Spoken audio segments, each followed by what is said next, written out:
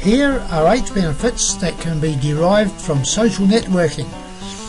Human interaction in a social network can be a great tool to increase the volume of traffic to your website. Building online traffic can be accomplished in many ways. Post blogs and online forums, create relevant articles, optimize pages and keywords, use video marketing, and invest in pay per click. Benefit 1 derived from social networking links. More quality links from these networking sites can increase online traffic to a website. Benefit 2 Advertising. It is a very advantageous way to advertise a business, be recognised and known to millions of social network subscribers. Benefit 3 Sharing. It can bring more potential online customers to visit and share essential information about a website to interlinked friends. Benefit 4 Traffic.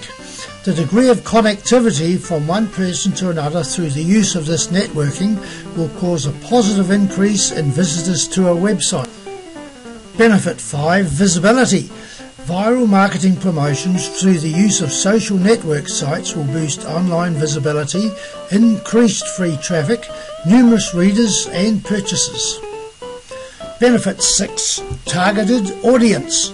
Targeted visitors can be directed to a particular location each day by enhancing advertisement performance and promotional items. Benefit 7 Branding. A particular image is being presented to everyone's attention to make them aware that a particular online business exists. Benefit 8 Increased sales.